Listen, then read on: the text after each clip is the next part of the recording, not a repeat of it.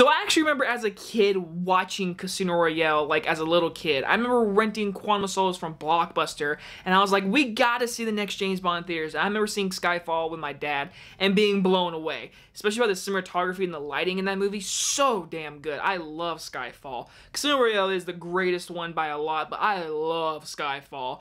And then we got Spectre, but now it has come to an end. My childhood James Bond, the one I grew up with, is coming to an end. That is insane. This is crazy. I'm here to talk about Daniel Craig's one last outing as James Bond.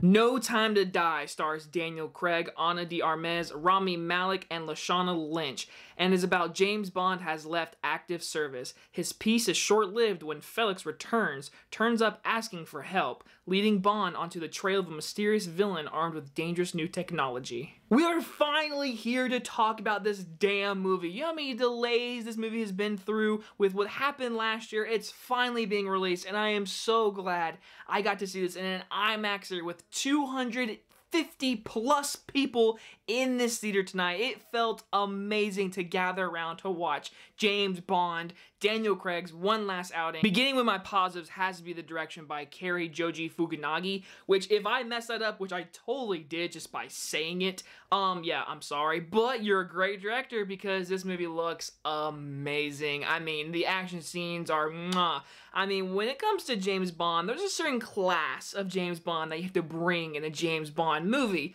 This movie brought everything the the cool cars, the cool suits, the great humor by Daniel Craig, the, just the sexiness, the action packedness. I mean, this is a James Bond movie from beginning to end. I was really entertained by every action in this movie. They were helmed very well. One scene of shaky cam, which was a, a scene of a person running, but I understand that. Besides that, the car chases, the shootouts, the fighting, it's all beautifully well shot. The cinematography looks amazing. Hans Zimmer's music, I mean, it's Hans Zimmer. Do I need to say much? It's his music. The music's gonna be really good.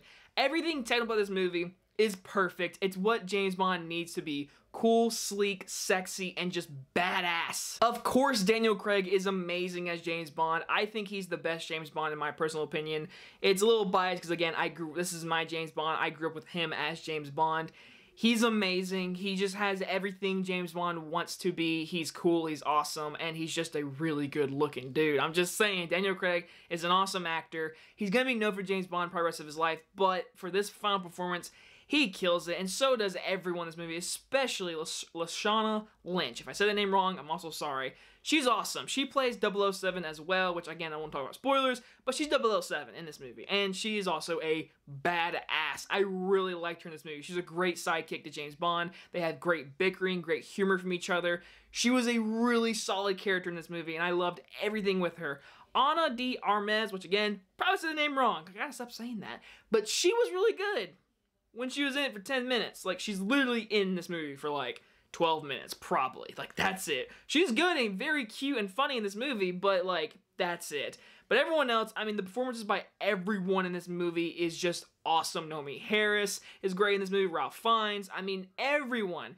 Then, of course, we have Rami Malek as our main villain, who is a very good, scary looking, intentional villainous character I just think his evil plan is very evil plan 101. I don't want to spoil what the plan is, but I mean, it's your basic evil villain, I would say. I mean, he has good motive when you first, like the first time you see him, which is the opening scene. Great opening scene.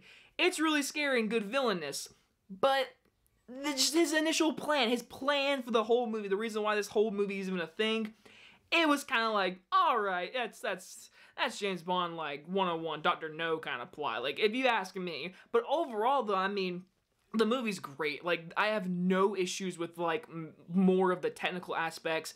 I think the emotional impact this movie does. They do a certain thing with James Bond as a character. They show up towards the middle act and then the last half you're like, "Oh, so is this certain thing gonna be? Yep, that's that's it's something that's very impactful James Bond, and I'm really glad they went this route.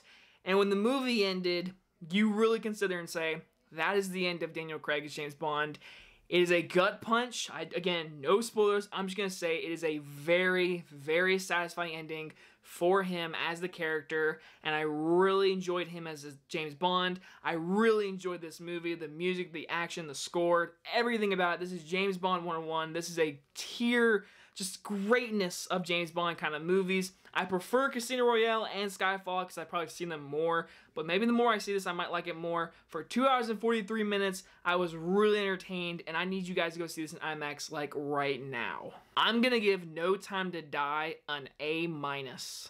I felt very happy at the very end of this movie when the credits started rolling. Everyone just clapped. I was like, man, it really is the end of an era for James Bond. I'm, I'm excited to see who the next James Bond to see. I'm excited to see the next beginning of the franchise for this character and what they're going to do, who's going to be James Bond. Very exciting stuff, but I will commit to myself. Daniel Craig, you were awesome. Congratulations on going out on top. I loved this movie. Go and see as soon as you can tomorrow.